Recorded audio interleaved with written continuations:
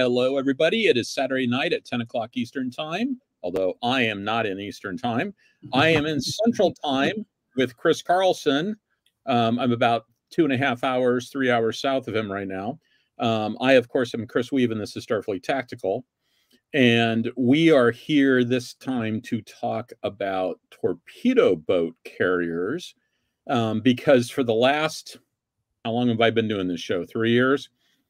Every now and then, whenever we start talking about something that looks like aircraft carriers or something like that, out pops Foudre, the French torpedo boat cruiser. And so I've been teasing you with uh, pictures of this thing for a long time. And I finally decided it was time to sort of uh, do it for real. I've been threatening for a couple of years now to do it for real. And so uh, I invited Chris to come on because Chris is actually an engineer. I am not. Um, and Chris is, I know a lot about naval history and navies, and Chris dwarfs my knowledge um, on the technical side by about an order of magnitude. Um, and he's got it all in his head um, or in that fairly impressive bookshelf behind him. So Chris, Chris, provided me with a lot of the stuff that I've got um, in this presentation. And so, um, so that's what we're going to do tonight. But before that, Chris, what have you been up to? It's the middle of April. Guess. You've been sneezing. taxes. Oh, taxes. Taxes is, and sneezing. Um, I'm allergic to tax. No, that won't work. see, I, I got my taxes done like beginning of March. Uh, I would love to get mine done, but I got to do my dad's first. And I foolishly yeah. thought doing a trust uh, tax return would be easier. No, no. It's not. And they don't hold you by the hand. So you have to kind of guess all that you need to get, and then they keep calling you back and forth and whatnot. But um, I'm almost done with mine. Monday, last Monday, I got a corrected 1099. Well, um, let's see. By my watch, it's the 13th, so you've got Monday to to, to get everything and in, in under the wire. So. My extension and payment go in tomorrow. yeah, I've been there, but not for a while. Not for a while. So, but glad glad that you're getting that all taken care of. Um, so I am in Des Moines um, because I realized I could kill two birds with one stone. I am hosting the uh, the other thing I do on Streamyard on a regular basis as opposed to just one-off things that I do for people now and then. Um, the other thing I do on a one-off basis is something called um, Connections Online, which is a professional wargaming conference, and it starts on Tuesday and runs through Thursday for the core sessions, and then it's got some extended events. And I had to cancel my last trip to Iowa because I got that nasty cold that still has me coughing a little bit um, but it's mostly acid reflux by this point. And so, I, uh, since I, I, at some point I realized that you know I there's no reason why I'm taking a week off of work to to do my conference. There's no reason why I have to stay in Dayton to do it. So I I got myself into Des Moines yesterday, and well, no, I actually came into Des Moines. I left I left Dayton yesterday. I left Dayton yesterday. Spent uh, last night at my friend uh, Ralph Mazza's uh, place. He's an old gaming buddy and then drove in this morning. So I'm going to be here all week. So this is I'm going to do next week's show from from uh, this location as well. Um, not sure what the topic is going to be yet. There's a couple. Realistically, because of the number of slides I've got, we may be talking about torpedo boat carriers next week too. That that's a real possibility. Um, um, um, so we'll we'll we'll see how far we get with this. Uh, let's see. I'm trying to think if there's anything else. I don't think there's anything else, so I'm going to go ahead and launch the slide deck. If I can find my cursor. Okay, so here we go. So first, the obligatory admin slide.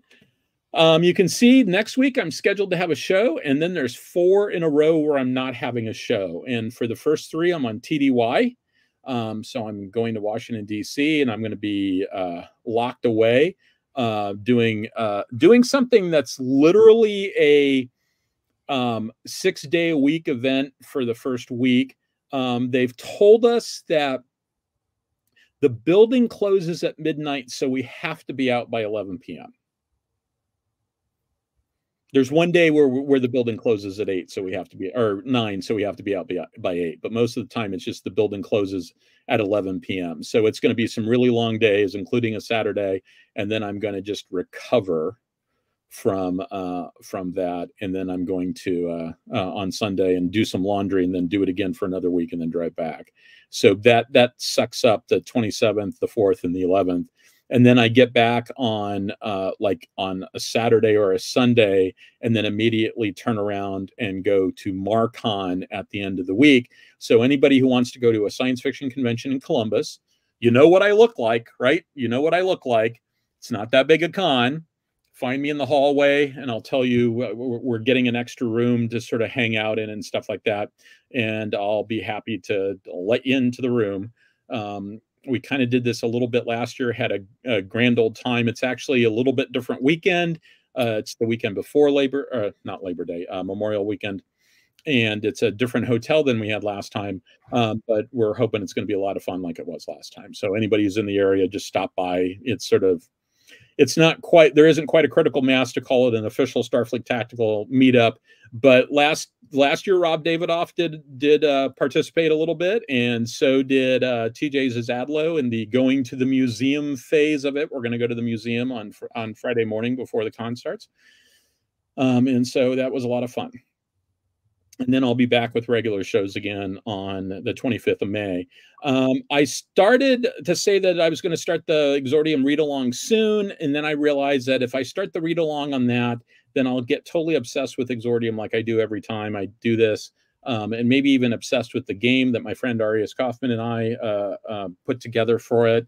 And I don't want to do that because I owe Chris Carlson a game. I owe Chris and his partner Larry Bond a game. Um, oh, I'm redoing a game that Peter Perla and Mike Markowitz and I did called Sea Powers, um, putting the hood up, trying to turn it from a four player only version into a two player version and do some extra naval history stuff in it. It's just a it's a little nifty little card game about the pre World War One naval arms race. And so um, I'm I'm terribly terribly late on all this stuff, um, but I'm up to my eyeballs um, because basically uh, I'm a one person wargaming shop at my at my employer, and um, we used to be like a three person wargaming shop, and the demand signal is almost as great now as a one person wargaming shop as it was when we were a three person wargaming shop. So busy, busy, busy. Um, uh, my opinion's not my employer's. Um, I think that Chris is self employed, so maybe his opinions are his employer's opinions. Um, I'm not exactly sure how that works out. And um, I, you know, there's a few images I've thrown in here. Most of them, most of them, I think, are from French postcards. uh, which French postcards turn out to be a surprisingly important part of this story. Um, and uh, but everything's the property of other people, and so I'm here to critique it and use it for educational purposes. I'm not trying to violate anybody's uh, copyright. So here's what we're going to talk about today. Um, first, a little bit of scene setter about what we're going to talk about. Um, the short answer is torpedo boat cruisers. Um, and so we'll talk about what we mean by that and torpedoes and stuff like that. Then we'll talk about some early British efforts, and we'll spend a lot of time talking about Foudre because Foudre is a very interesting ship, and it's the one I keep going back to a lot. And then we'll sort of roll into some science fiction into it. And if it looks like if we get to the point where we're getting to the science fiction and we're already past the hour mark, I'm going to throw the flag at that point and we'll do science fiction next time. Um, and that'll give me a chance to beef up that session, section uh, a little bit um, because there's some other stuff I could put in there. For instance, I could put in some Renegade Legion, which is something that I've talked about in the past, and I can go back to back uh, back to that again, and I can expand some of the examples, et cetera, et cetera. I want to do one on science fiction torpedo boat, that sort of concept anyway, like just focused on that at some point, and this would give me a good core to start off with on that. Okay, so Many times you've heard me talk about Julian Corbett, Sir Julian Corbett, in his book, Some Principles of Maritime Strategy. Uh, Corbett was a lawyer in England in the late 1800s, early 1900s, who, through an interesting series of events, found himself as a naval strategist. Um, and a high level naval strategist, as in like teaching at their at their war college, sort of naval strategist, and writing book, you know, official government employee, writing books on naval strategy. Um, he was a person that people paid attention to. He wasn't just he wasn't just a guy with a YouTube channel. Um, he was somebody who was actually sort of up to his eyeballs in this stuff. And in his book, Some Principles of Maritime Strategy, this is the, the it's a very interesting, very sophisticated book. I think I I'm almost positive I did an episode where I co- compared and contrast it with Richmond K. Turner's uh, pre World War II strategy document back when when it, when he was Captain Turner before he became Admiral Turner. I think I did that episode. I know I was talking about doing it, and I think I remember putting it together, but I couldn't find it. So maybe I still need to do that episode. Um, you know, Gordon Dickson, the famous science fiction author, um, tells us at a con. And, you know, like, what about such and such? And he'd say, well, remember, when X happened, blah blah blah, and he'd go into this explanation about how this event in the in the timeline had affected things and et cetera, et cetera. And then he'd slowly notice all the people just staring at him, like, "What are you talking about?" And then he'd go, "Oh yeah, yeah, I forgot. I haven't written that story yet." And so he had it in his head, but he hadn't actually put it on paper. Um, I never really quite appreciated that until I started doing this show. Now I totally and completely get that because there are times where I think I need to talk about such and such, and then I discover I talked about it two episodes beforehand because I've got this sort of running dialogue in my head about all the stuff I need to talk about. And sometimes I forget what I actually have done shows on and stuff. And I, I try to keep track of that. And I'm trying to do a better job of keeping track of that, but not as good as I, I, I could. So um, Corbett generally splits the the the I, I said the fleet there. I should say the mission of the Navy into three categories. You've got the battle fleet that's really about capital ships fighting for sea control. I should say if they can, but it's mostly to protect the flotilla as the flotilla goes about its business. If you can go out and schwack the enemy's battle fleet, then you've got total control of the sea. You can just sort of do whatever you want. And if the if the enemy is so uh, so complying with your wishes to put his battle fleet in your jaws so that you can just you know snap its neck off that's fantastic. Usually the enemy is not willing to do that. Now he was a brit during the time of the heyday of, of uh, british uh, naval sea power so it was very much in terms of getting get it. You know, I'm we're the top dog. We need to if we can get the other guy to to to come and let let us kill him, that'd be fantastic. Then he talks about cruisers as being sort of the commerce raiding and protection force. So they are responsible for maintaining the sea lines of communications and threatening the other guy's sea lanes of communications. So fast ships sort of operating by themselves or in small groups going around doing commerce raiding or doing convoy protection type stuff.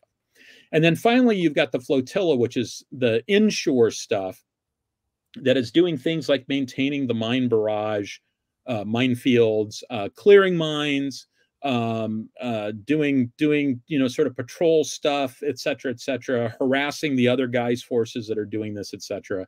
And every now and then you'd have to send in a cruiser just to make sure that the other guy stayed honest, um, or or you'd send in something a little bit heavier and you know maybe it's the possibility that at some point you you know you could use that to convince the other guy to bring his battle fleet out. But in general what you're talking about is a bunch of small ships um, frequently like converted converted fishermen and stuff like that. In world war one they used a lot of converted fishing trawlers and stuff like that to lay mines and to sweep mines and to do stuff like that.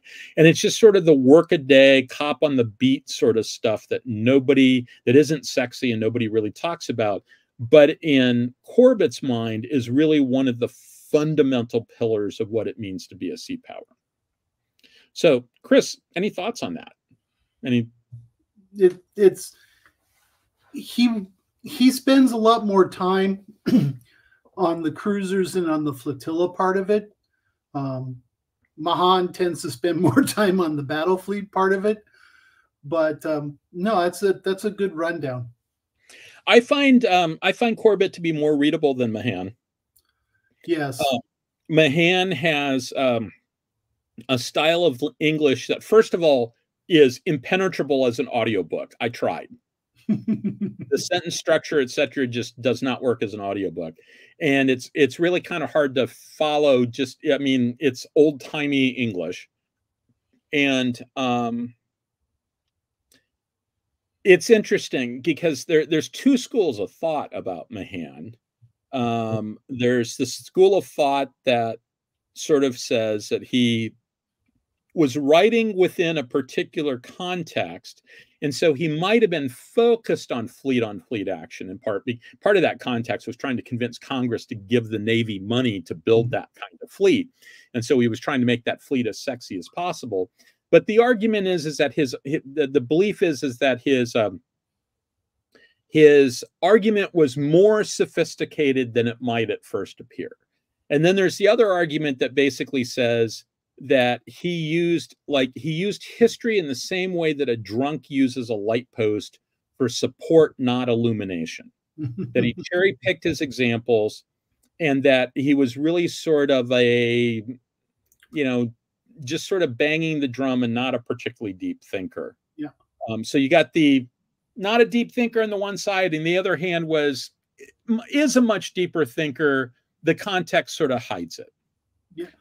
The uh, my argument is um, that Corbett and Mahan wrote from two different perspectives. Yeah, Mahan is almost philosophical in nature. He doesn't get into the nitnoids of what yep. is a you know what is an offensive strategy how do you go about doing it when that's what corbett does he gets yeah. into the nitnoids of it so it's almost like you know, sea power in its larger sense, and then you, you, take the step down and you get sea power as its practical sense. And I really see yeah. Corbett as being practical. Yeah, and that's interesting because because if you sort of contrast them, the, the, argument's been made that that Corbett is much more like Clausewitz and uh, Mahan is much more like Jomini, which actually makes a lot of sense because if you had gone to um, Army or Navy naval officers of the time period of Mahan and said Clausewitz, they'd say, "Who are you talking about?" Because well, Clausewitz wasn't wasn't yeah. particularly well known at the time, but Jomini was very well known. And these days, nobody reads Jomini except as a well, you should read this guy. He's really wrong. But the there again, I think you have that difference of perspective. Clausewitz mm-hmm. is also is almost philosophical. Yeah, and that that's actually kind of the funny thing about it is because Clausewitz is a lot more philosophical, I think, than Jomini is, but oh, Jomini is a lot Jomini is a lot closer to Mahan, who was the philosophical one, than he is to Corbett. So now we should probably not go any further down this because I know I have a degree in strategy. Um, I know that we could easily spend the next 10 hours uh, to crack the surface of the Clausewitz uh, Clausewitz Jomini debate and all the rest. Of. I mean, and God help us if we ever get into centers of gravity. Um, let's not do that. Yeah, let's not do that. um, so uh, Dustin makes a has a really interesting question here. Let me throw it up real quick. Does Starfleet also set up uh, fleets and Corbett's? Uh, uh, basically, does Starfleet think in the terms of of Corbett's uh, thinking of fleets and flotillas and stuff? the short answer is it does not appear to be that case.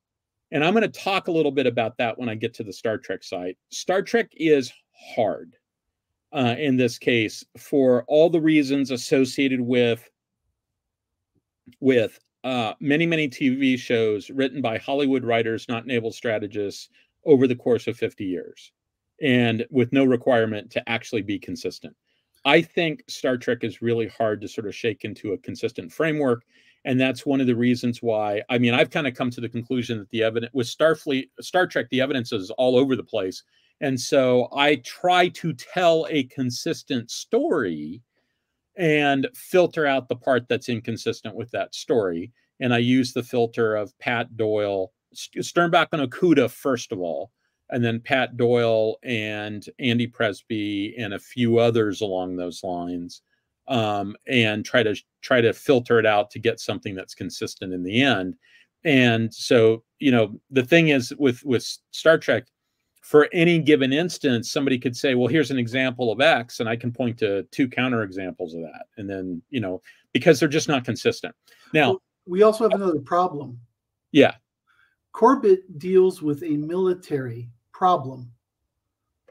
Star. Trek is far more, you know, when you when you get down to the core of it, they keep saying this. They are far more about exploration. Yes. And that I, that's not going to fit in a Corbett Mahan discussion. Yeah, it, it really isn't. Although the Mahan side of things has, you know, Mahan was about maritime power as much as he was about sea power. I mean, he really sort of talks about the importance of commerce, etc., which mm-hmm. is actually one of the principal arguments against saying that he, in my mind at least, against saying that he's a particularly sophisticated thinker. And that's because he he acknowledges the importance of maritime trade and all the stuff that goes along with it, yet he ends up focusing on battle fleets, mm-hmm. right? Because his argument is basically if I wipe the other guy's battle fleet off the seas, I can do whatever I want. Um, or at least that's how the argument always got interpreted by the people who wanted to build big navies. Um, the comment has been made, perhaps a little unfairly, that the best thing that um, that uh, Mahan did in support of the United States was get our enemies all liquored up on his book and and you know the Japanese were big fans of Mahan and the the Germans at one point were big fans of well, Mahan. Kaiser was a huge fan. Yeah, the Kaiser was a huge fan, and so the argument is the best thing Mahan did was convince our enemies to listen to Mahan. now that that's that's a little unfair. That's a little unfair. Um, maybe only a little though and so that that's actually a conversation we could probably go with um, but let's let's not go there just yet um, so let's go back to corbett. So corbett has these three things of which you've got the battle fleet cruisers and the flotilla. But if you think about the sort of things the flotilla would do a lot of that stuff if you look at the context he's writing before airplanes or anything other than uh, than like scouting aircraft. And he's writing in the days before radar.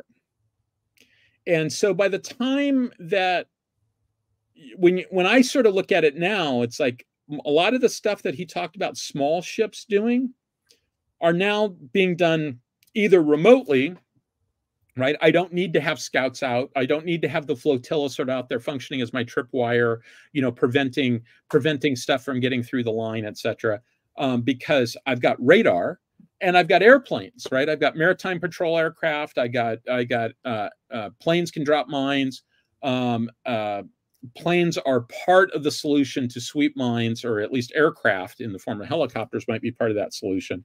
And so when you sort of add all that stuff up, you sort of makes you wonder where where the flotilla is and i think that the answer is nowadays the flotilla is largely airborne um, but not all of it and it's not going to be that way in space because we're not going to have airplanes in space we're going to have spacecraft in space and so um, it's kind of interesting in that i i think you can make an argument if you want to run want to take a real world Navy and run it through the science fiction converter, um, you know, turn it on first, um, and then file off the serial numbers, you're probably better off, in some ways at least, running an older Navy through the science fiction converter rather than a newer one. Because the older the Navy gets, the more it turns into sort of a one dimensional problem surface warfare and there's not as clear analogs to subsurface and air warfare in space as there are to just surface warfare. And um, when you start add those other domains, you end up with a bunch of weird specialty platforms and a bunch of rock paper scissors effects that you I don't see a reason why you would expect those in space. The one thing that I think might not translate well is the idea of the line of battle, because the line of battle was a very, very specific command and control function that these days would be done by radio and computers. And so the the line of battle solved the problem that we now have other ways to solve in a way that they did not have back then. So, so that's Corbett and the flotilla. So let's talk about the importance of torpedoes or the automobile torpedo. And we're going to get to why they call it the automobile torpedo later on. Torpedo is a, a term whose meaning has changed over time as technology developed.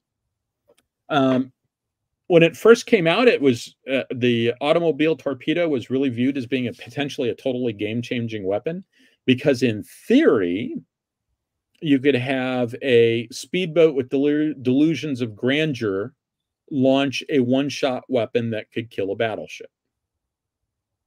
That's a really good theory. That's a really good theory. And the French, in particular, with their Jeune École, which stood for Young School, you know, think think young guns, think upsetting the system. Um, basically, it was especially attractive for them um, because they didn't want to build, the, they didn't want to get into a naval arms race with Britain um, because they were busy worried about Germany and being a land power, right?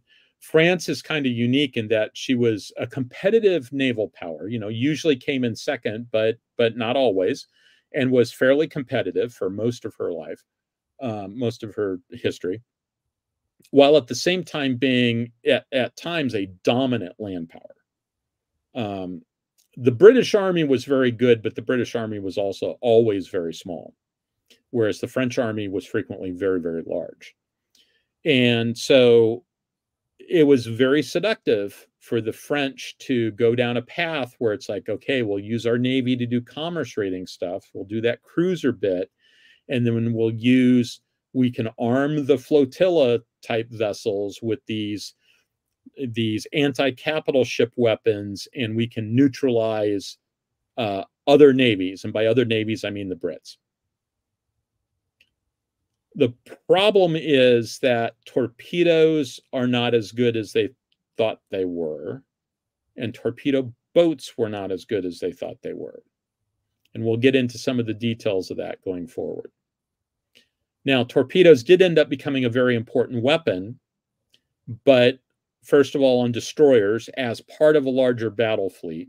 So I always say one of the great ironies of naval history is that something called a torpedo boat destroyer turned out to be a better torpedo boat than the torpedo boat itself was.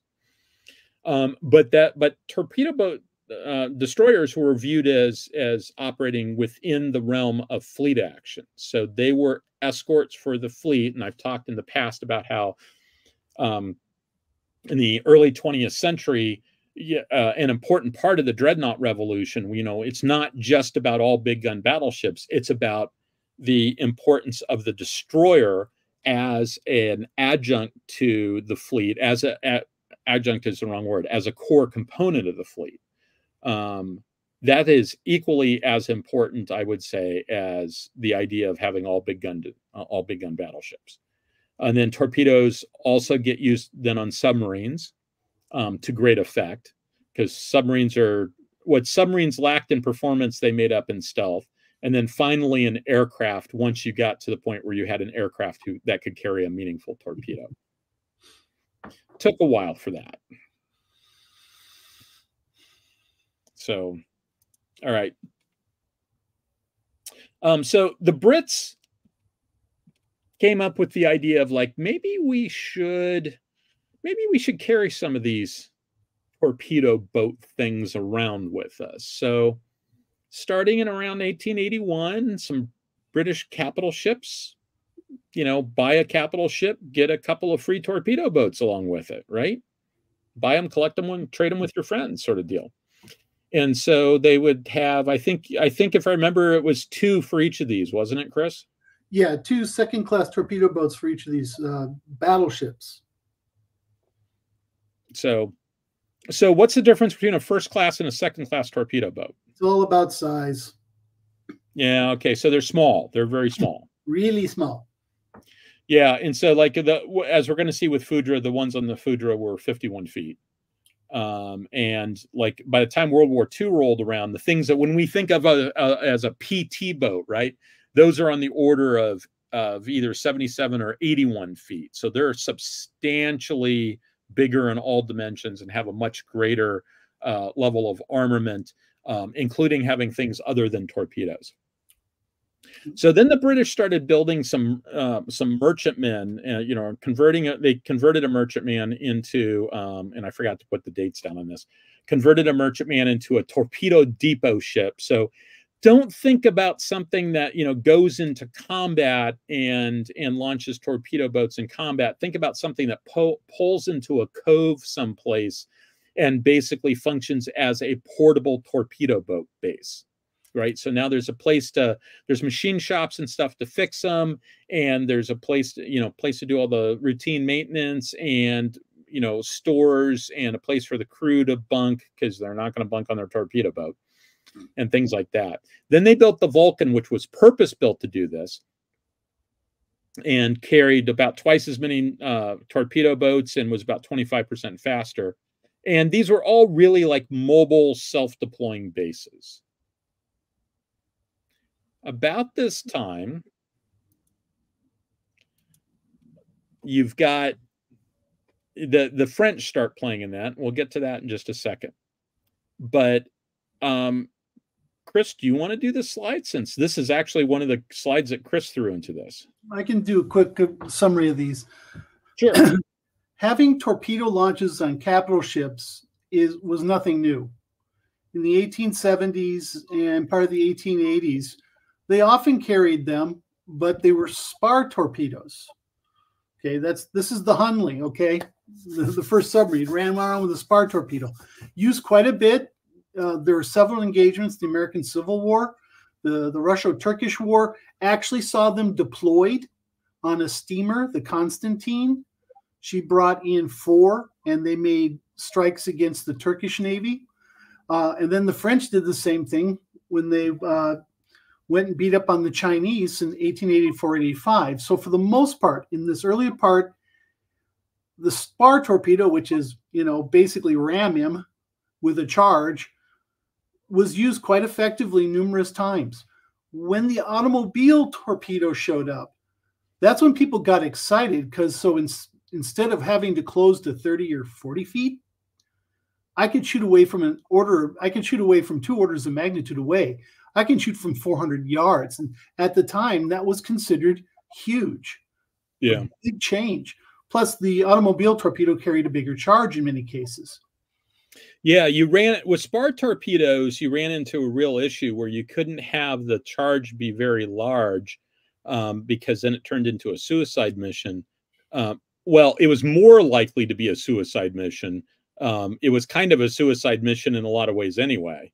Um, yeah, for because, the Hunley, that was the problem. It had a very large charge, and what killed the crew was the shockwave.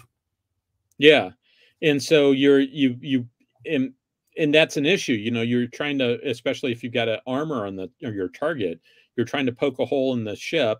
You've got to get very close. So if they know you're coming, they they've got they're shooting guns at you and stuff, and then you got to get close enough, and then a big boom happens. Um, and if the boom is too big, uh, you get to die too. Yes. or, you know, like we had with the the Hunley had a PK of three. It killed two crews before they ever did a successful attack. And I can't remember, did its target sink? Housatonic was lost, yes. Okay. So so, you know, at at some level, at a very sort of, you know, cal- cold and calculating level, it was probably worth the effort. Um, but it still was still was suboptimal. And so being able to take these you started off with so a torpedo started off as an explosive on a stick. Actually, it started off as a mine. Okay. They were called um, Yeah. Yep, yep, they were moored torpedoes. Yep, and then you get so, the spar torpedo because it's all referencing an underwater explosive. Yeah, and so if you go back, the the phrase "damn the torpedoes, full speed ahead" was not talking about like uh, torpedoes as we would think. It was talking about mines. Damn the mines, full speed ahead. So, um, and uh, when you talk about land combat, a torpedo is still an explosive on a stick, and you use that explosive to blow a hole in an enemy's minefield so that's one way you can detonate stuff is you stick an explosive out there and then you you pop it off and it will take out some number of mines. Um, you know, I will refer to if there are any infantrymen in the in the chat who want to talk about that, I'm more than willing to let them talk about it. It's not my Jeopardy category. Okay, so here's the inflexible. Tell me about the inflexible. Okay, she was um, she was laid down 1876, and she didn't get built finished till 1881, uh, largely because there was hemming and hawing or did she have enough armor, and in comparison to forgotten things, Italian battleships, but whatever. So this is one of an early turreted ships, and the two things on the back end there are two 60 foot second class torpedo boats. And you can actually see one uh, on the right hand photo on the right, just underneath the ensign. You can see that longer boat, and that's one of the torpedo boats.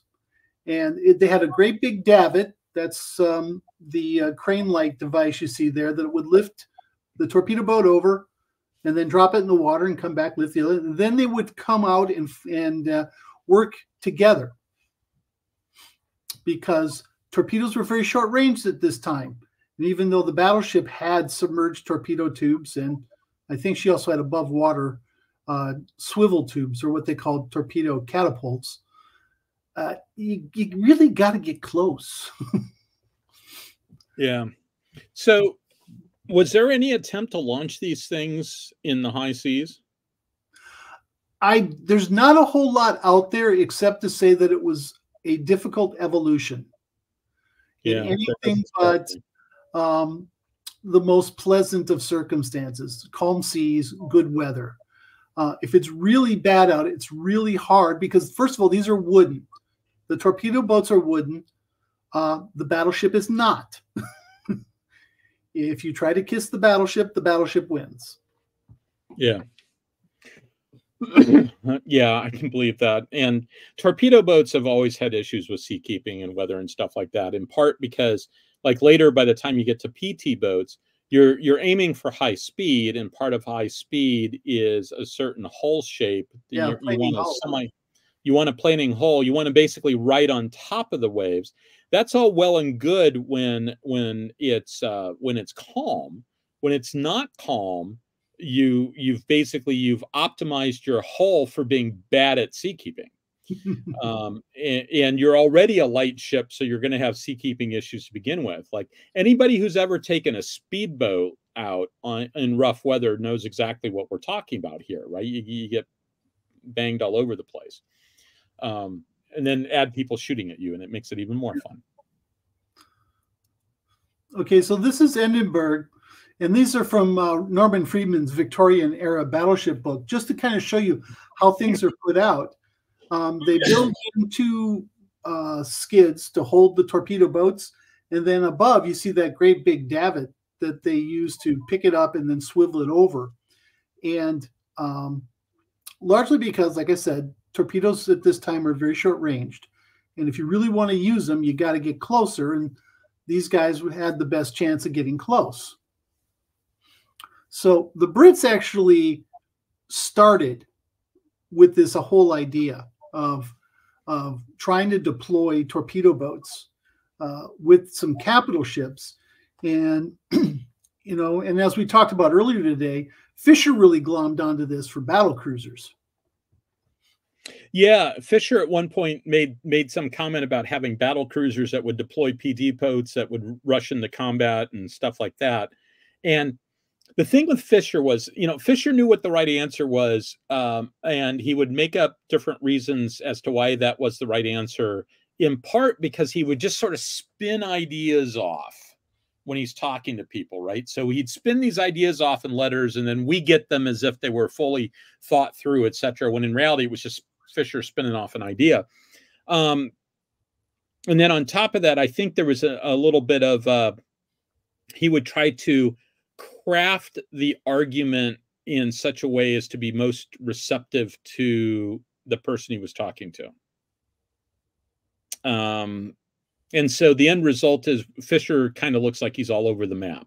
I think there's more consistency there. Um, I mean, he fundamentally thought that speed was armor, right? He fundamentally his thought focus, that speed was his focus is very consistent. yeah, He's willing to waffle a bit if whatever you like, if speed is the big issue, he'll go for that. If hitting power at long range is the issue, he'll go for that. The bottom line is maximum destructive contact on the enemy. However it takes, that's what he wants. Yes, yeah, and he wasn't as worried about armor.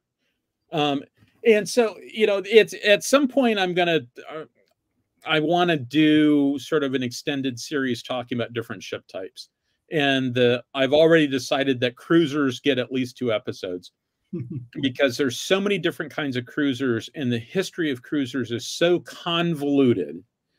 Um, uh, or at least at least it takes a little effort to detangle. Let's put it that way Mhm. um, between protected cruisers and armored cruisers, and why armored cruisers died out.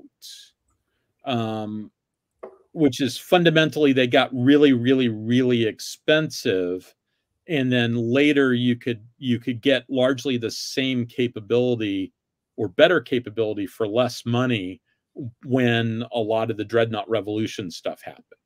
Um, because as a general rule, armored cruisers were reciprocating steam vice steam turbines, and steam turbines are just so much better um, in terms of you know the amount of uh, the amount of headache in your engineering space. Which is not to say that steam turbines don't have a lot of headache in your engineering space. So, um, even if you use a hot rock. Okay, so so Vulcan and Hecla, which are the two that we talked about, and so um, you know Hecla was the first one. Hecla was a merchantman that was converted into service, and uh, Vulcan was actually purpose built for this task. And um, Yeah, Vulcan, Vulcan is the Brit equivalent of Foudre. yeah, Vulcan is the Brit equivalent of Foudre, and predates Foudre. Hmm. and so they, they they're both more to be thought of as sort of mobile torpedo boat depots so there it's a mobile torpedo boat base it's closer to being a submarine tender than a submarine carrier by analogy right? You except it carry it does carry the torpedo boats but it's not about launching the torpedo boats in combat. It's much more about pulling into a place where you'd want a torpedo base and sort of have now you've got a torpedo base there because it's got everything it needs to have for to be a torpedo base.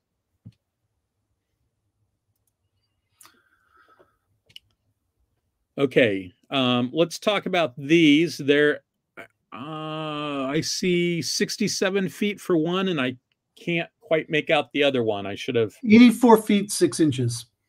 Oh, so that's that's bigger than I thought it was. That's almost the size of a World War II one. Yeah, but it's still it's still very small. But both of these were done in the late 1870s, and this just kind of, in fact, you can see the one on the right is actually pre-set up to be a spar um, torpedo carrier. Hmm. So Yeah, this gives the you the spar i- on there. this gives you an idea of the size we're talking about. It you know you're looking at 10 to 15 tons. They're they're usually wood, um, depending upon the type of you know size and whatnot. You're looking at 12 to 18 knots, and you had one or two torpedoes. They were 14 inch, and in some cases you had a machine gun, either a Maxim or a Nordenfelt. Okay, so not a whole lot of capability there. No, and that's part of the problem. Size, um, and we'll talk about speed. They're not all that much faster than their target in many respects. Yeah, in fact, as we're we'll get to when we get to to Foudre's um, Foudre's torpedo boats, Fudra was actually faster than her torpedo boats were. And this just kind of gives you an idea of what we're looking at. this is actually a fairly large second class uh, boat. It's Lightning. It's a model of the Lightning, and that was the 80 uh, 82 footer. And this is what they would have. Um, you would have a machine gun, uh, usually one, two barreled, and then you had a bunch of torpedoes. And the one thing I wanted to show you here is we're talking, you know, 20 to 24 knots. Some, you know, the earlier ones are even slower, but by the 18, uh, 1880s, we're looking at about 20 knots, and you're looking anywhere between 400 and 800 yards. Yeah. You got to get really, really And- close to your target.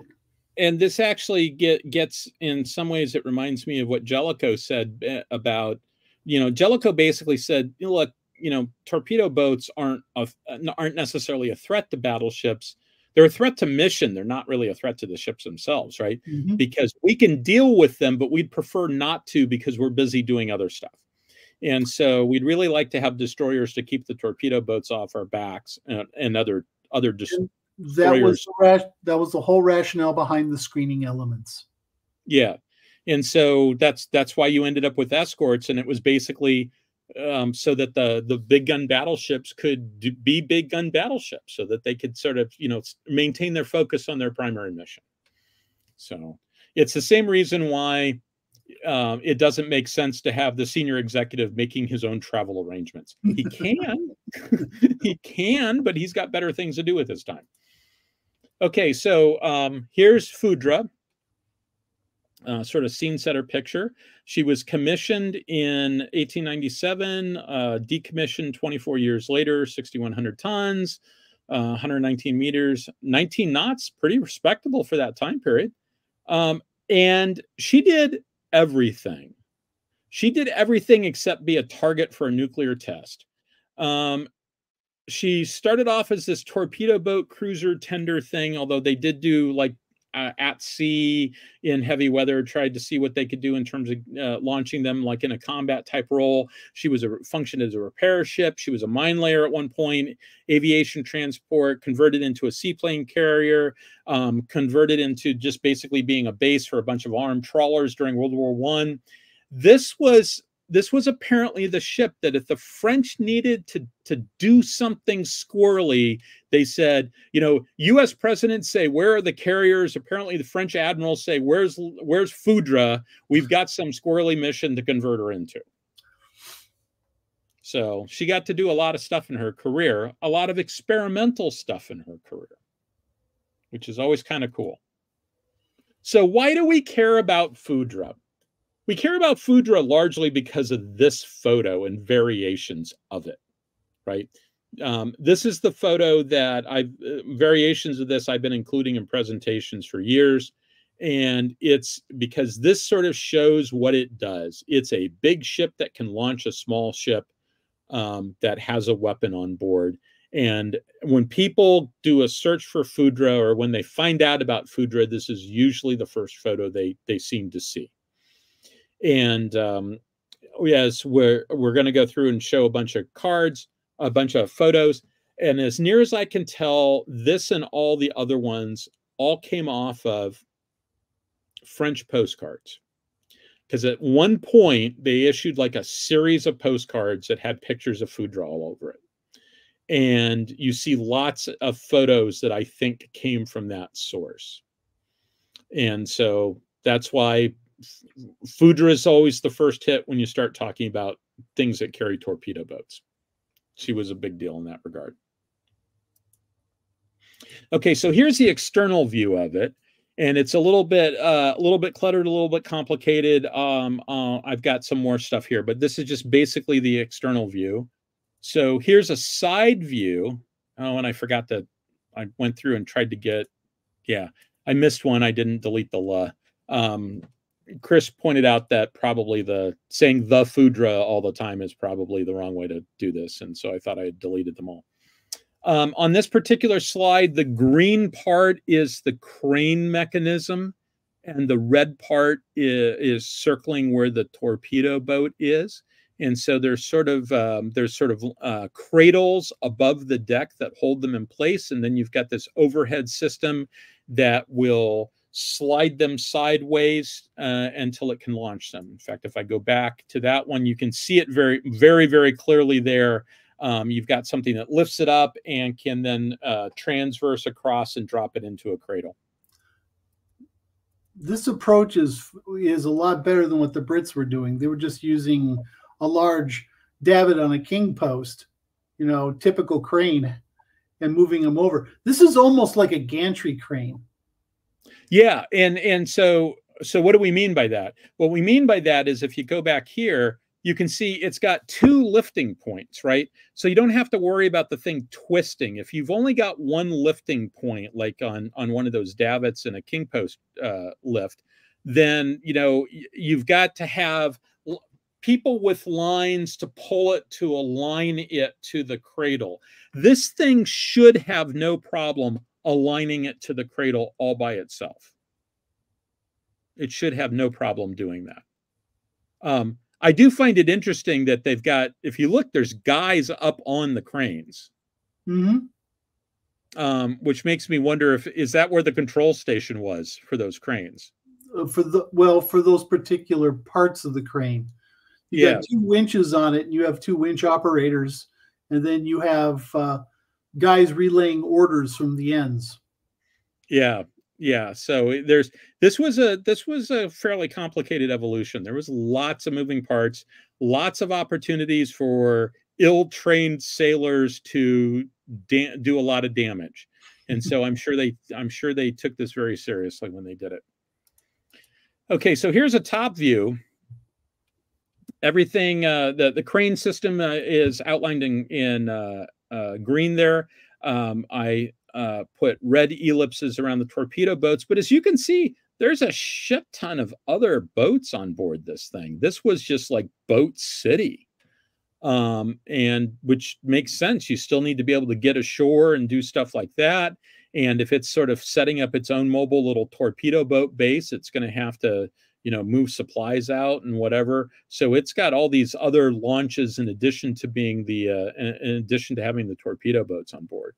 And i didn't i didn't circle the ones up forward. So there's an entire another section there. It carries about you know right there we see six. So it carries about 12 of these things. That's a pretty hefty pretty hefty amount of of stuff to be carrying around um more so than we see you know way more than we see some of the other things carrying some of the other ships.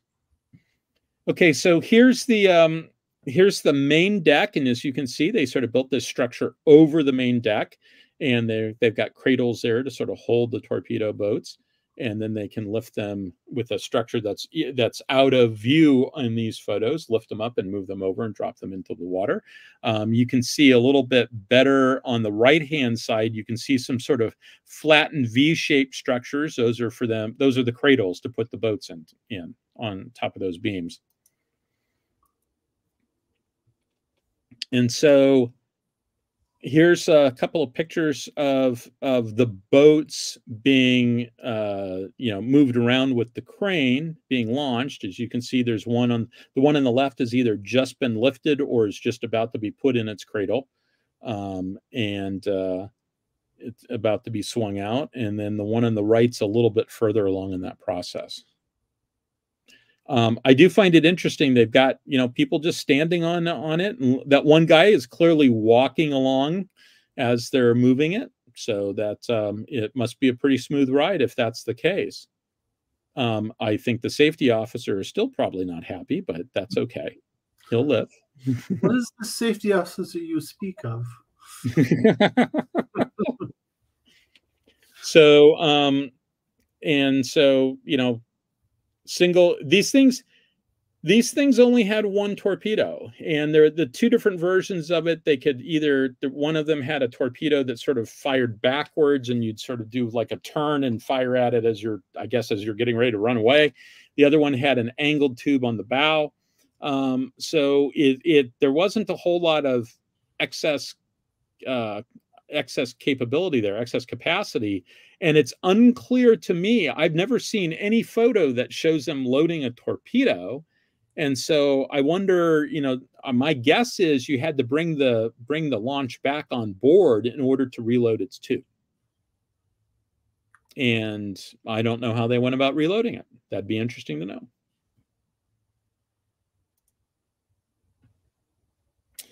Okay, so these steam launches, steam uh, steam torpedo boats, they're small, relatively speaking, only a few tons. Um, uh, you know, 50 to 80 feet long. Lafudras were 51 feet long.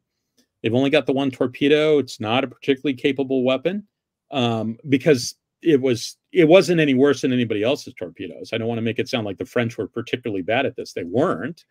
Um, it's just torpedoes weren't very capable at the time. Well, in this era, right? It's it's before 1900. That mm-hmm. means every single last one of these torpedoes are absolutely unguided weapons. They don't yeah. even have gyros. So the ordered course is merely a suggestion to the torpedo. Yes. Yes. Um, the torpedo boats themselves were slower than Foudre. Um, they only did 16 knots. Foudre could do like 19. Um, not particularly good for sea keeping. They were steam powered, so you've got all the issues associated with that. You have to bring bring up steam. You know, steam is um, steam is not always known for its ability to quickly respond to changes in what the captain wants. Um, if you've ever taken a tour of a battleship engine room and they tell you about all the stuff that has to happen to get more steam up, it's uh, it it's a it's a pain. It's a pain. And they're they're basically difficult to recover in anything other but excellent weather conditions. The seas have to be calm, it has to be excellent weather. Otherwise, it's hard to get them back on board. You probably don't want to throw them away. So um, let's see. And so here we've got a little bit of a discussion about these boats. Um, this is just an example photo. What you're seeing there is Vedette C. It's the only one made by the British. It's the only one that had a trainable torpedo tube. Um, all the other vedettes, and they all had letters, not names, uh, were made by the uh, French shipyard Schneider. Uh, but all these were made between 1894 and 1898. So you know this is this was cutting edge technology. This was. Look at what it was made out of. It was an yeah, aluminum boat. That was freaking new. Yeah, this must have been pretty soon after they invented the new process, right? When mm-hmm. did they mm-hmm. invent the new process?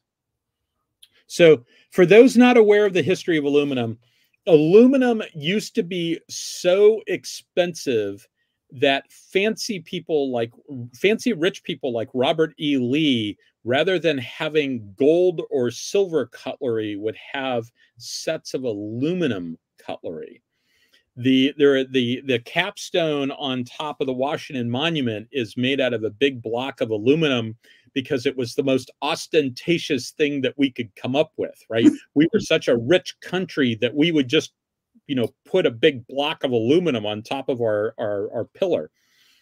And then they came out with the new process um, that is i can't think of it off the top of my head what it's called that basically means that now we now we make aluminum and we throw it away in soda cans right? It's it it really really really made that uh, the smelting of aluminum ore the separation of aluminum ore a lot uh, lot simpler. And aluminum is one of those great recycling success stories. I read somewhere that if you're drinking a soda in december that that that particular the aluminum in that can of soda has probably that's its like third or fourth incarnation that year. And something like 90 some percent of the aluminum that was ever produced is still in circulation because it is so easy to recycle it's not like plastic aluminum is so easy to recycle so steel for that matter same as same as true as steel um Okay. Uh, anything else on this? Uh, on this? Nope. Okay. Now there is a problem with making an aluminum hulled vessel, and one of the comments that the, that was made in one of the articles was that they had a severe corrosion problem with yes. Um, so basically, corrosion because the shaft was steel. Yeah, and so you, you end battery. up yeah, you end up with the exact same problem that they ended up with uh, with the LCS two class, the uh, the Independence class, where, um, as I describe it, the Navy decided to build a water soluble ship. Well, not intentionally. The manufacturer said, "Don't do this; it won't work," and the Navy said, oh, "We know ships; we know better." yeah. So Well,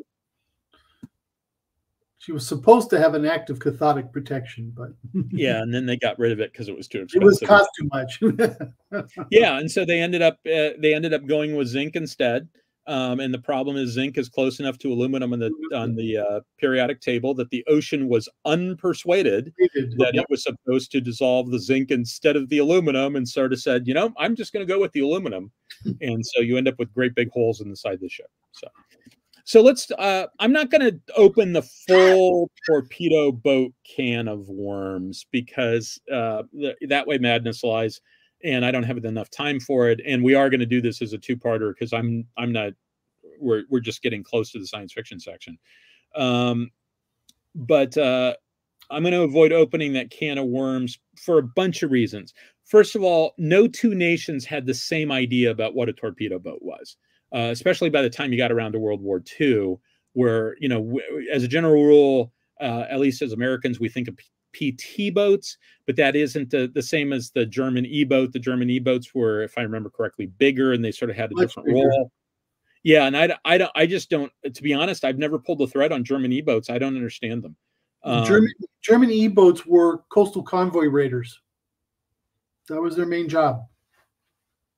Okay, so they, yeah, okay, that's a little bit different. Um, the roles of PT boats, uh, like in U.S. usage, uh, evolved tremendously over time. Um, by the end of the war, you know, they started off as PT boats with the thought that maybe they go and torpedo something every now and then, hence the torpedo boat part. By the end of the war, I think they even stopped deploying tor- the torpedoes because the torpedo was just a big explosive that could get hit by enemy fire and they were doing all their work with guns so they were going and shooting up barges and stuff like that and they weren't really doing anything involving you know shooting at anything that was like a real warship that they'd need a torpedo for Well, And- remember towards that part of the Pacific War, uh, the Japanese fleet had uh, Yeah. suffered a fair amount of attrition, and they had gone to barge traffic um, to carry Yeah. supplies. Well, barges are too shallow. You can't use a torpedo against it. well and it's a waste of it's a waste of a perfectly good torpedo so i mean it it's really kind of overkill for that sort of thing you might as well just shoot it with a gun um, sh- you might have to shoot a few rounds with a gun but you can shoot an awful lot of ra- gun rounds before you get to the cost of a torpedo True. Um, now there were two different. Uh, the, the- this is a little pedantic trivia thing. There's two different types of torpedoes that they used during the war, and I saw something earlier today that talked about how they made the decision to go with the with the the second type of torpedo because it was lighter. And it's like no, they made the decision to. It happened to be lighter, but they went with the second type of torpedo because it was better in every way it was smaller, it was lighter, it was faster, it had a bigger warhead, and you didn't need a torpedo tube for it. Those big torpedo tubes, when you sort of think of McHale's Navy, for you old people like me out there, you think of McHale's Navy and you think of the torpedo boat with the big torpedo tubes, those were pressurized tubes that they would shoot the torpedo out of because those torpedoes had to go out that way because you couldn't just roll them off the deck because the gyros would get all fritzed and now your gyro isn't working. Whereas the air launched torpedoes, they just had them. In fact, I can't. I can't tell if they've got them on this or not because it's pretty small on my screen. No Mark 13s. The Mark 13s, you basically just pulled a lanyard and it opened a couple of, uh, you know, the the brackets holding it in place just sort of fell away and it rolled off the ship. Um, and like I said, faster weapon, longer range, bigger warhead, better in all ways. It was the the air launched one, and it was sort of it was a much much later design than those uh, earlier. What were they? Mark tens. Yeah, the Mark 10s. Yeah, and that the, so they were just much better all the way around. Maybe Mark 15s, maybe. But they're not as cool looking. They're not as cool looking as the. Well, the only as- reason why the Mark 13 really had more punch um, is because they had Torpex explosives. Yeah. And so they actually had a weight wise, a smaller weight of explosive, but from a TNT perspective, they had a much larger punch. Yeah, much more, much larger. So the places where torpedo boats really did well were places there, there's lots of islands in the South Pacific where you could you could make hay with torpedo boats, right? You could you could ambush stuff, you could be waiting in the dark, and you could speed over. You know, you see a bunch of barges and you can speed over and, and schwack them. Um, but like I said, they were more effective. They ended up being more effective as gunboats than they were as torpedo boats, in part because there was more use for, you know, more need for gunboats than there was torpedo boats. And they ended up being much more effective in doing sort of the general flotilla type tasks of, you know, dealing with barge traffic and preventing infiltrations and stuff like that than they ever were at the attacking capital ships role. In fact, I'm not even sure what was the largest ship that was ever attacked by like a PT boat. I think it was a well in the Pacific. Any place, Earth. Oh, we'd have to look at the Italians. They had the best chance because they they went crazy with torpedo boats. Um, but in the Pacific, I think it was a light cruiser was the biggest thing they tagged. Yeah, and that that kind of makes sense. That kind of makes sense. I mean, in part because as a general rule, you know, these things had a shallow draft. They were good in the in the littorals and um, you don't they were good in places where you don't want to take battleships in fact uh, one of the things that's really notable about the battle war uh, of uh, washington versus Kirishima versus south dakota is that those battleships were there to begin with u.s doctrine said do not send battleships into waters like that they were very restricted. Battleships like to have room to maneuver, and they didn't have room to maneuver there much at all. But Halsey was just desperate. He didn't have anything else. Now we and did he, use them at Surigao Strait. We did. Yep. Okay. Oh yeah, yeah. We, we, used them to harass the Japanese um, as they were coming through, and then we had the old battleships forming a gun line after the PT boats had just you know completely screwed everything over, and you know got out of the way, and the big guys started shooting. Yeah, that that I I had forgotten about that. That they they they did form, if I remember correctly, didn't they? Didn't they form like a picket line across? Uh, it was, I think, like a wedge. Okay.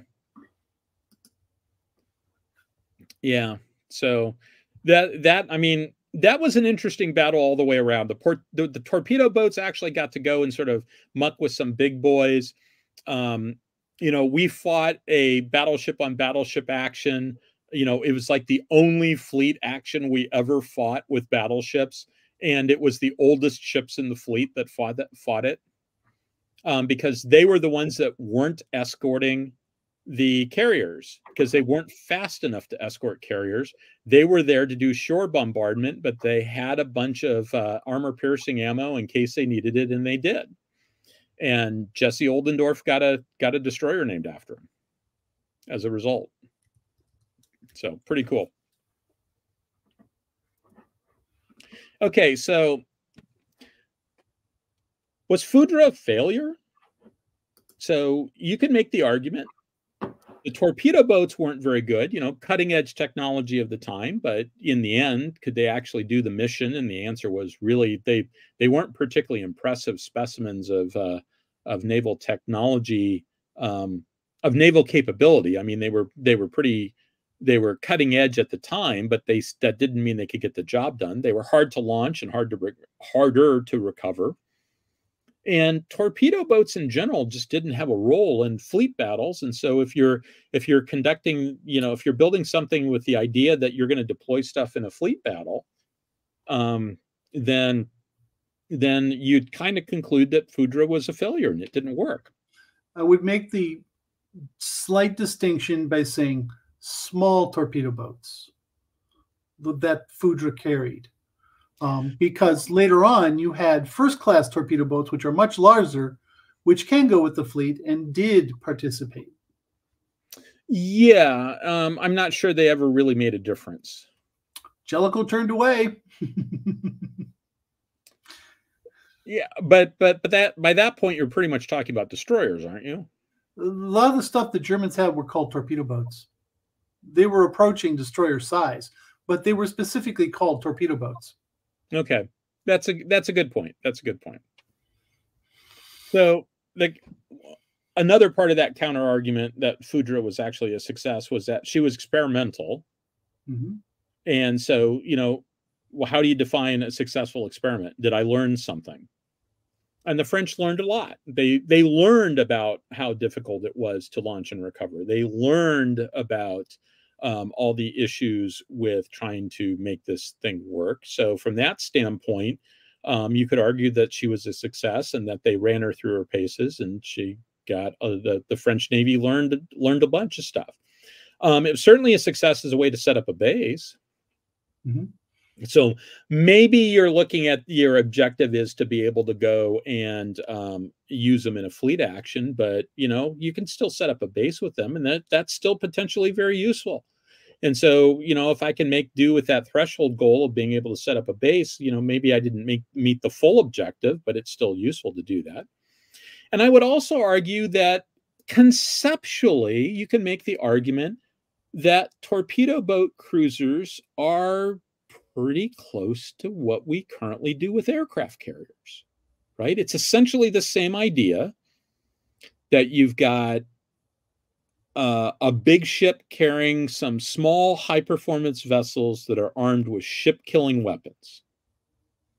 And either for the battle fleet role or you can, you know, they can function in the flotilla role. And that's essentially what an aircraft carrier is. It just uses aircraft instead of something like a torpedo boat. And so, just as Corbett, you know, I made the argument earlier that most of the flotilla missions that Corbett talked about have been taken over by aircraft. Okay, so aircraft carriers sort of took over the torpedo boat mission because torpedo boats weren't torpedo boats boats weren't the capability that they were looking for. They were looking for something to fulfill a particular mission. They thought that maybe torpedo boats could do it.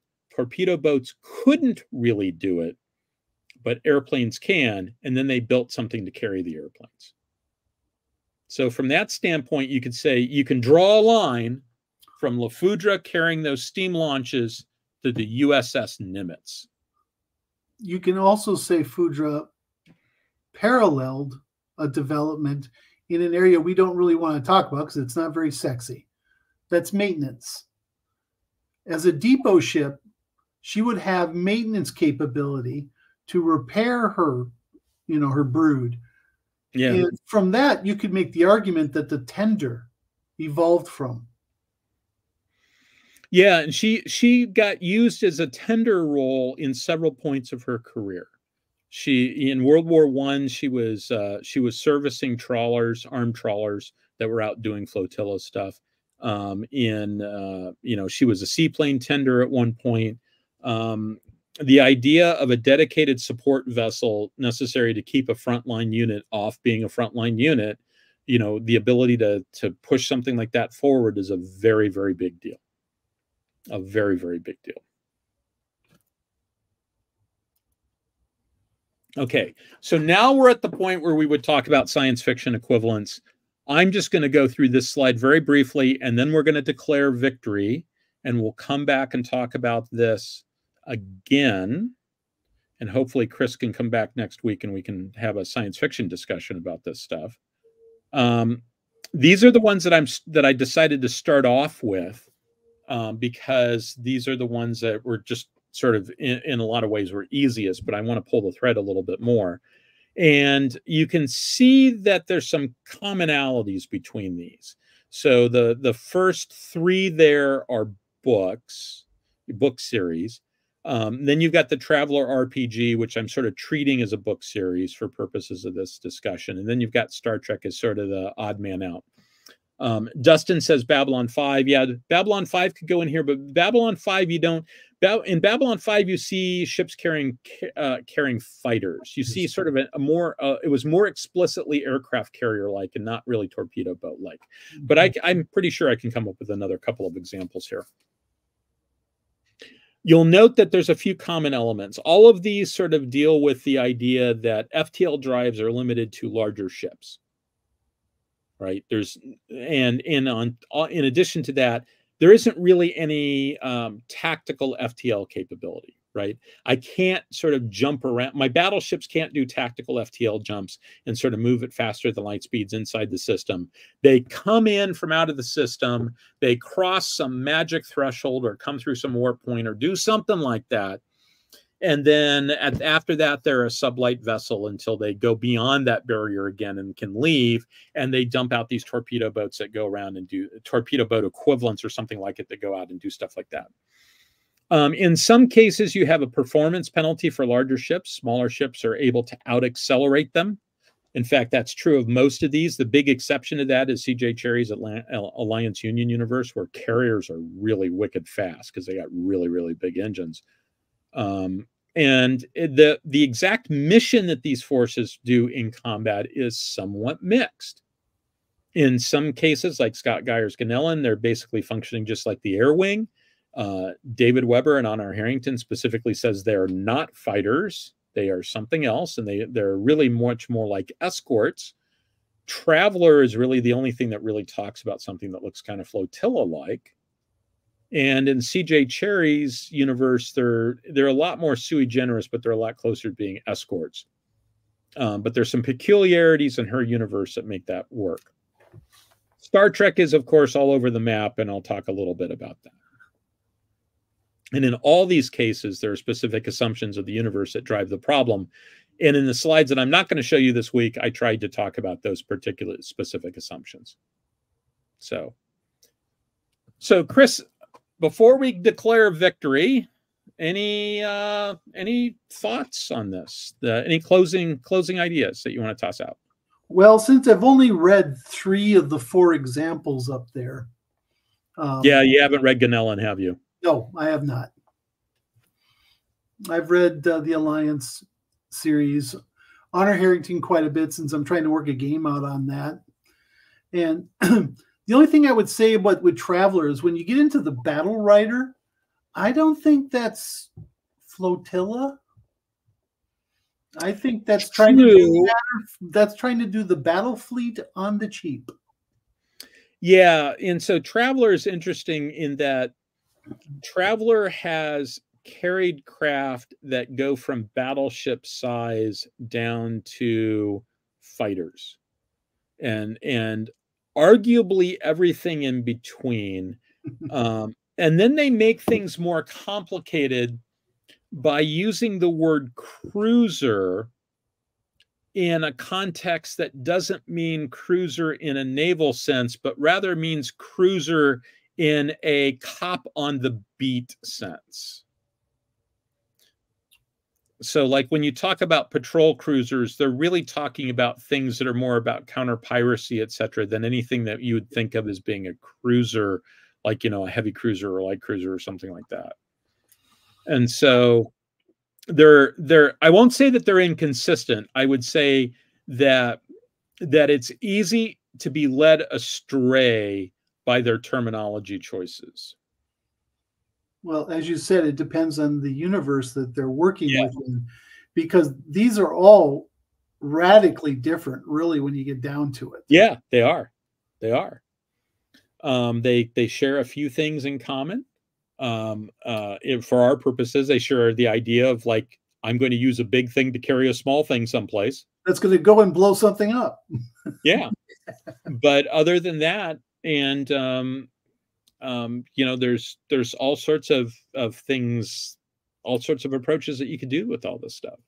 And i think it's really um, really pretty interesting really pretty interesting. So but that's going to be uh, next week. Chris do you think you're available?